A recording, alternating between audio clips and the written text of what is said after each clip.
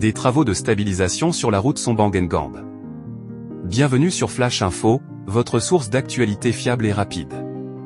Aujourd'hui, une nouvelle importante émane du ministère des Travaux publics au Cameroun, concernant la route Sombangengambe, dans la région du littoral.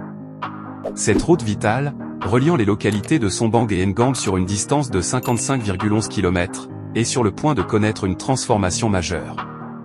En effet, le ministère des Travaux publics a annoncé des travaux de stabilisation sur ce tronçon, dans le cadre d'un projet visant à améliorer l'infrastructure routière dans plusieurs régions du pays, dont l'ouest, le sud, l'est et le littoral.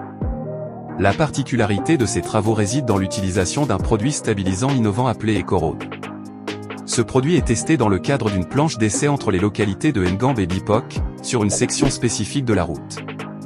Cette planche, réalisée récemment, vise à évaluer la stabilité du sol et à garantir la circulabilité de l'axe routier en toute saison. Cette initiative est une bouffée d'air frais pour les usagers réguliers de la route Sombangengambe. En effet, ces travaux promettent d'améliorer significativement la qualité de l'infrastructure et d'assurer des conditions de circulation optimales, contribuant ainsi au développement socio-économique de la région.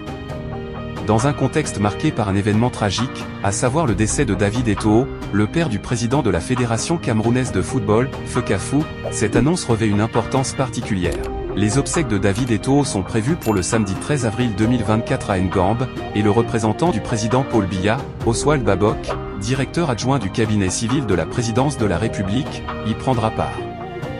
Restez connectés à Flash Info pour toutes les mises à jour sur ces travaux de stabilisation et d'autres actualités cruciales. Abonnez-vous dès maintenant pour ne rien manquer des développements à venir.